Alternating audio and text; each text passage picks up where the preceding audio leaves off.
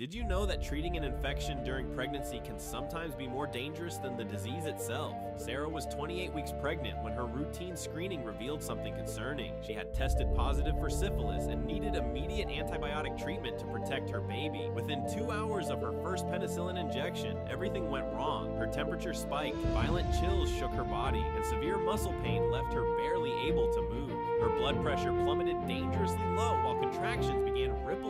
across her belly. The medical team quickly realized what was happening. The treatment had triggered a massive inflammatory reaction called Jarisch-Herxheimer syndrome. Her own immune system was attacking the dying bacteria, creating a life-threatening response. Emergency steroids were administered while medication stopped the premature contractions. For hours, doctors fought to save both mother and baby as the reaction peaked. Sarah recovered completely and finished her treatment safely. Sometimes curing the infection creates temporary danger greater than the disease.